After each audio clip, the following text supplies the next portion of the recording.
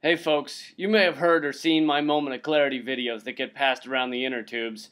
They helped call for Occupy before Occupy even began, and I continue to use them to combine comedy with the dark truths of our society.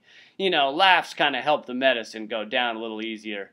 Well, now those videos are a book called Moment of Clarity The Rantings of a Stark Raving Sane Man. It covers countless topics, but the basic thrust is a call for us all to stand up against this corporate pillaging of the world that we've all just accepted like it's a black eyed peas song. We're like, well, it's gonna be around for a while. Might as well pretend like I like it. Bull.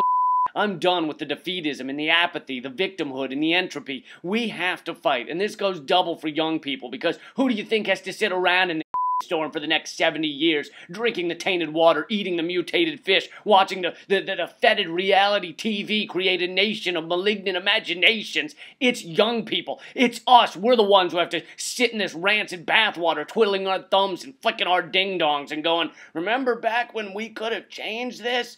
We should have, like, done something. And our kids are going to ask us, where were you when humankind could have gone a different path? And what are you going to say?